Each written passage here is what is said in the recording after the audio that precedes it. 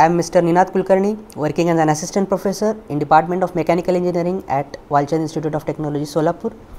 In today's session, I will be dealing with how to solve some simple problems based on AI, that is artificial intelligence. At the end of the session, students will be able to solve some simple problems using AI technique by the production system method. Now, what is problem solving? A problem solving is solving the problem. We are given a certain problem, we are giving the initial description of the problem and we have to reach the solution. We have to reach the desired solution by solving by or by uh, solving some simple steps by going through some simple steps just like uh, the proofs mathematical proofs the theorem proofs such as Pythagoras theorem. If we are going to prove the Pythagoras theorem, we have to solve some steps. We have to go through the some steps so that we reach the desired solution that is the hypotenuse square is equal to side 1 square plus side 2 square. This solution is the desired solution. So, we have to go through some steps. A problem can be considered to consist of a goal. So, there is a goal and we have to do some certain set of actions that can be taken so that the goal is reached. At any given time, we consider the state of search space to represent where we have reached. So, at any instance of time, we have to specify the state of the search space. What is the status of our solution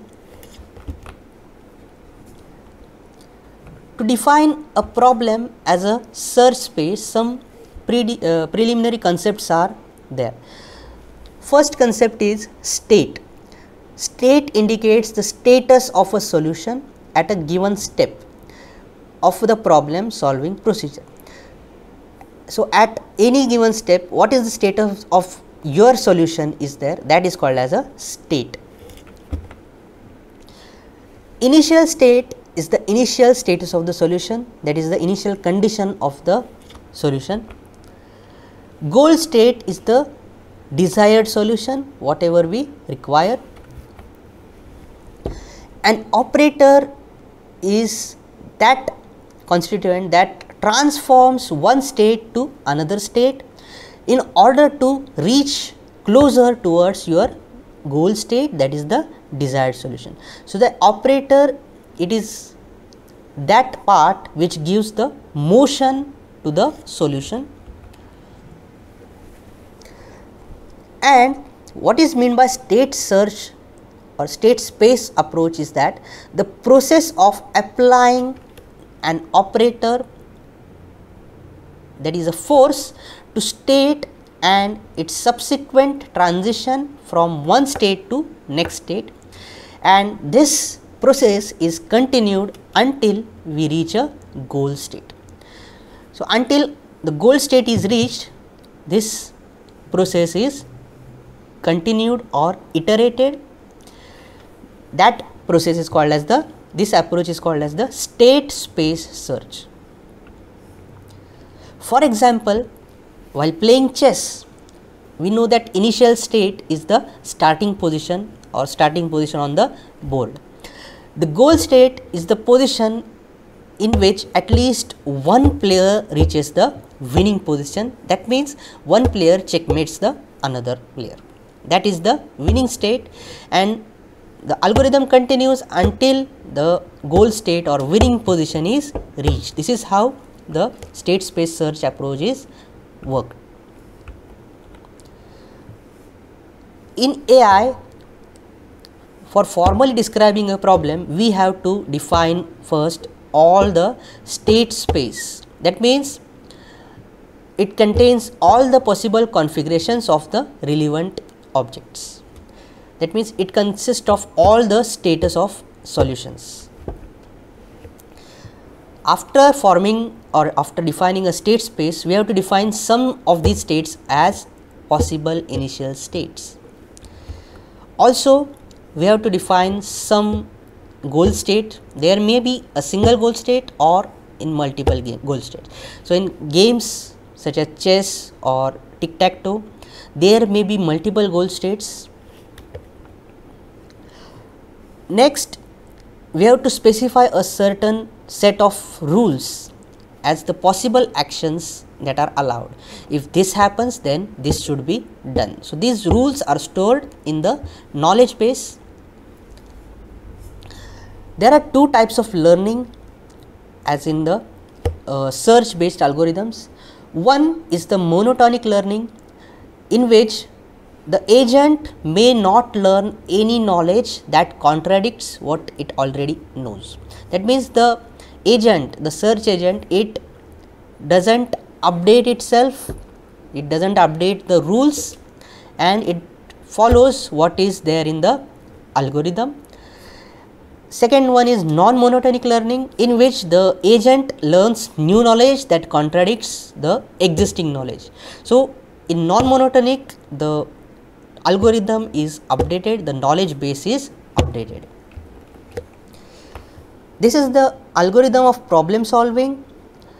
First step is analyze the problem to get the starting state and goal state. The first step is we have to specify the starting state that is initial state and goal state. After that find out the data about starting state and goal state.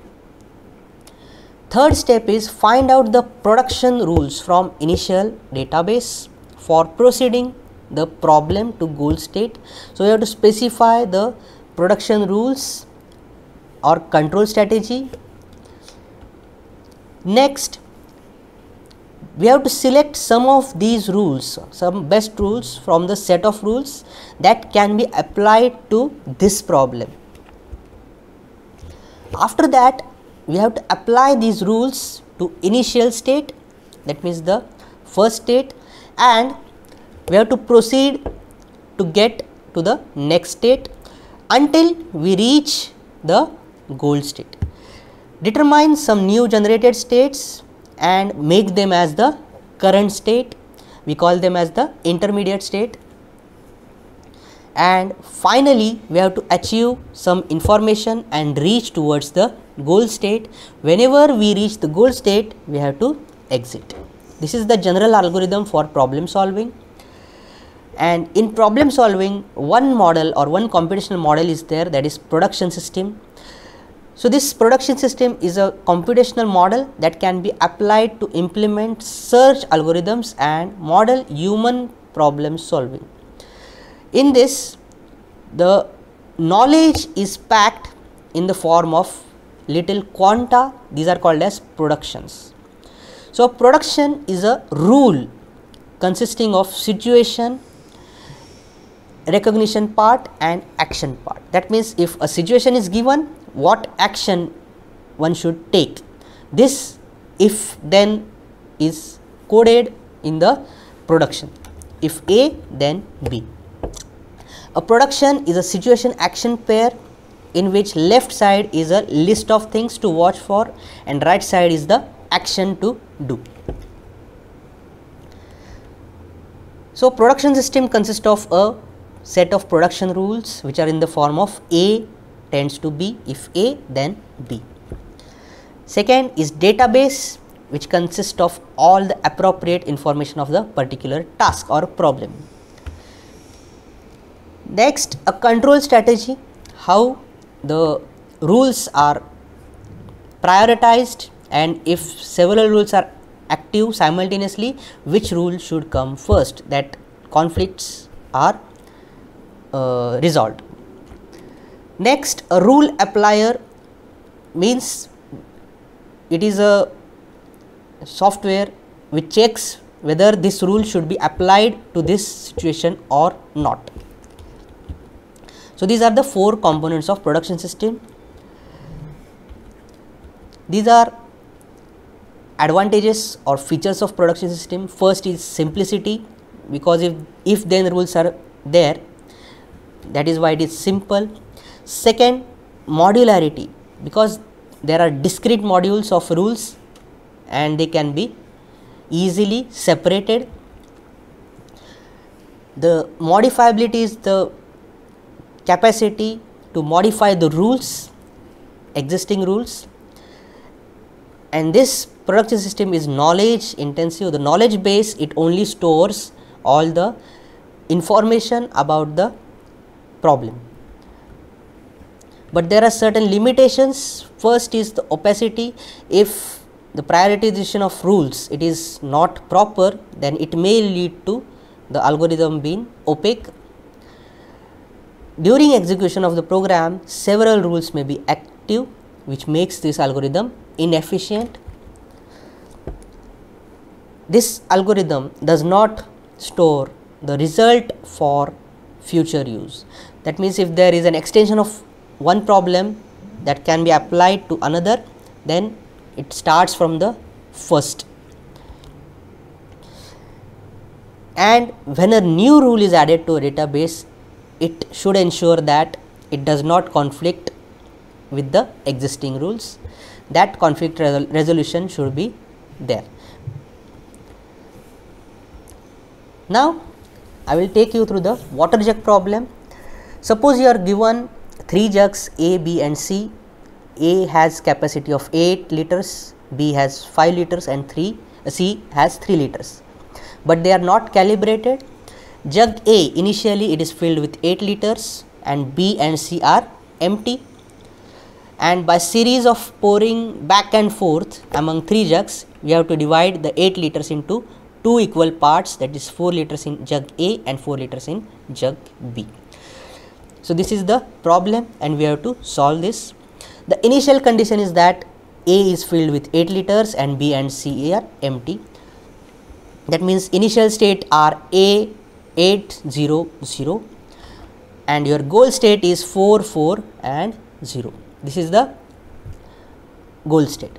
Now, we are going to proceed with this problem. The initial state is 8 0 0 and from this initial state we have three options. First option is we are going to put 3 liters in jug C that is 3 liter capacity. So, the state will come as 503. Second option is 350 that means we are going to pour 5 liters in jug B and third option is we are going to make the jug A empty and 5 and 3 liters are poured in jug B and C. These are the three options and from these three options we will follow this hierarchy and these are the solutions that we will get. So, this algorithm will search each and every state of the solution and until we reach this end state. So, this is the end state. So, whenever this algorithm reaches end state, it stops and exits. So, this is the strategy we follow in the production systems algorithm until we reach the end state. So, these are the references that are referred and thank you.